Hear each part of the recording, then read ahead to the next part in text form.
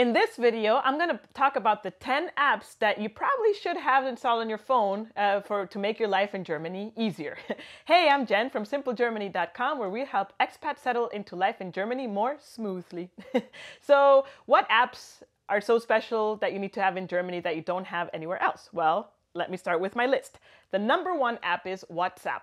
It's pretty much a messaging app. So rarely in Germany will you find actually people sending you SMS messages or iMessages, which are for iPhone. So here WhatsApp is pretty much the way to go.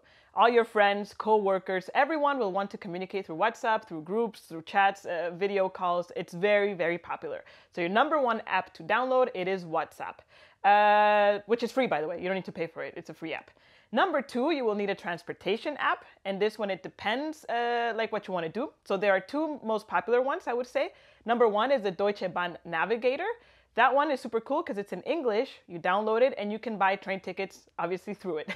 so I usually use this one for train tickets that are a little bit more um, like for longer distances. So, for example, I live in Dusseldorf, so if I would want to go to Munich or Berlin, I would use the Deutsche Bahn Navigator app to, to buy these like long distance tickets. However, locally, within my local public transportation, I have my local app, uh, transportation app, which is called Rheinbahn, I believe. Yes, Rheinbahn. I just find the, the it's a lot easier to use when it's a local app because it's obviously tailored to the needs for your local uh, public transportation. So also make sure to download the local transportation app for wherever you are living. Um, super cool, for example, as an example here in the in the Rheinbahn app, I can save my profile, my payment method. It is super easy to buy a ticket, and I can buy a one-way ticket. I, there's a happy hour ticket, for example, here in Dusseldorf that you can purchase after 7 p.m., um, 6 p.m., I think, and then you can use it until the next day, 7 a.m. This was back in the day when we could party all night. and uh, the other one. Um, what else? Uh, and they have like other uh, bundle of tickets that you can buy. And I find just using the local app is a lot easier than the Deutsche Bahn Navigator. So make sure to download those two apps. Number four on my list is Google Maps. Uh, actually, it's super interesting because uh, in Guatemala, where I'm from, Waze is super popular. I know in the US as well, uh, Apple Maps is um, also super popular. However, here in Germany, Google Maps just seems to have the most amount of information and is the most commonly used. So we use it all the time for navigating, uh, for actually finding a place, also directions for walking, cycling, and obviously driving, right? Uh, sometimes they also have information about public transportation. I would say it's not so accurate most of the time, um, but it still works. It does a trick. At least you know more or less where you need to end up, and then there you can zoom in to find the train station, and then use your local uh, transportation app to buy a ticket to that station or whatever. That's how I use it at least. Number five on my list is PayPal. I don't know if where you're coming from, PayPal is a popular choice. However, here in Germany, PayPal is used for multiple cases. For example, uh, at work, if you are going to have an office job and you will have a lot of coworkers um, or friends, actually, not just coworkers, uh, it's very common in Germany that people gather money for when a kid is born, for example, or uh, when someone got married or someone moved and has a new house. So for any kind of event uh, or for a birthday, obviously, right? Uh, so people might pool some money, and the way to do that is to send money through PayPal which is funny, right? Because uh, we complain a lot that Germany is a is is a cash is king kind of country. However, PayPal is very used for these cases. In my particular situation, uh, when we uh, we also use PayPal at work, for example, when we went to have lunch together and someone either forgot their credit, like their cash or credit card, or they didn't have a way to pay. Usually, one would lend the other money, and the way we got the money back was through PayPal. So PayPal is very common as well. Number six on my list is TransferWise. TransferWise is a money service and it's pretty cool because when you open an account with them, you actually have uh, by default three accounts. One of them is in US dollars, the other one is in pounds, and the other one is in euros. So if you are coming from a place where you have your money in a in a in a currency like dollars, for example, you can easily transfer the money from that account to your TransferWise account uh, through TransferWise, you also get like a debit card that you can use, so you can usually pay with that. So what is so cool about that? Well, first of all, transferring the money is a lot cheaper than a normal bank account uh, or an online transfer or a bank transfer from bank to bank. Um, also, this debit card, when you pay, let's say you have your money, let's say you're coming from the US, you have a bank account in dollars. You transfer dollars into your TransferWise dollar account. You pay with that TransferWise debit card here in Germany. You're going to use your dollars, but TransferWise is going to charge you a very little fee for transferring the money or for converting the currency from dollars to euros. I know it might sound complicated, but it's super easy to use. I have friends that are from Mexico and the US and they use TransferWise all the wise to be they use TransferWise all the time to be able to transfer money between either to send to friends or family members or money that they have in Mexico or the US. They use TransferWise to, to, to transfer the money to Germany and be able to use it there. So super highly recommended. We love TransferWise also for traveling because like I said, you have one debit card and you can pay in different currencies and the exchange rate is not as high as a traditional bank would have it.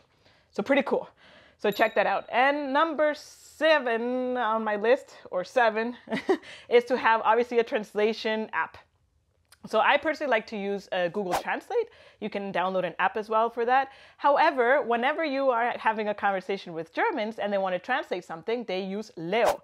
Leo is the, I would say, a more accurate also translating app that you can find in Germany. I just find also that the translation makes more sense when you're uh, putting German sentences. Leo will have a better translation than Google sometimes. So you can download uh, either Google Translate or Leo, both work. Uh, what else? Oh yeah, number eight on my list is how do you get taxis and stuff. So either obviously you can go to the street, maybe there are some taxis parked in certain areas that you can wave down. However, the way I usually order taxis is by using an app called Free Now. Before it used to be called Taxi Now, but now they renamed their branding and now it's called Free Now. Very straightforward app to use. Again, you create your profile, payment method, you get a you order a taxi, comes to pick you up, you leave the taxi, it charges you automatically. Also, Uber is uh, becoming more popular in Germany. There was a big controversy for Uber to enter the German market, but that's a whole story of in its own. Uh, but I feel like uh, starting last year, 2020, Uber was uh, getting some traction and actually working properly. I don't know the background of all of it, but Uber is also a way that you can also order um, a taxi service to go from A to B. So what else? Uh, number nine on my list is that obviously if you have a phone and if you have apps you will need data to use that phone right? So you can go either one of two ways. You can either have a mobile contract or a prepaid card. Um, we have done all the research for you and you can find articles in simple germany which i will link uh, below for you to check that out. But regardless of that whatever you decide or service or telecommunication provider you decide to choose most likely they will have an app. So i would highly recommend that you download this app on your phone because you will be able to easily see information like how many gigabytes have you used, uh, what's your current invoice, if you have a prepaid card, how much money you have. Uh, you can top up, as, if I'm not mistaken, as well. So you can do a lot of things through these apps. So that is pretty cool because then you don't have to deal with the bureaucracy of going to a shop or calling someone in German and having to answer all these simple questions. So highly recommended. And number 10 and final app that I have on my list is oh, let me try to say this, is the eBay Kleinanzeigen. and this one, uh, funnily enough, I don't know if it's funnily enough, but actually this app is very popular to purchase and sell used things. I know eBay is known worldwide, um, but there's an ebay.de and there's an eBay Kleinanzeige which to be honest, now that I think about it, I really don't know the difference. But anyways, the Kleine Anzeige one is the one that we use. I have used it very successfully to resell some things. For example, I resold my Switch there. I also bought a DJ set once to see if I could DJ some, but that was a big failure. And uh, so I resold that one there. And other used things, um, a lot of expats, when they are moving again, either to another apartment or going back home, they also use this to resell their furniture or whatever, and it's very successful. Just bear in mind that the conversation there is very transactional, it's very direct, um, and you might know need to know some German to be able to negotiate with people. However, it's pretty straightforward.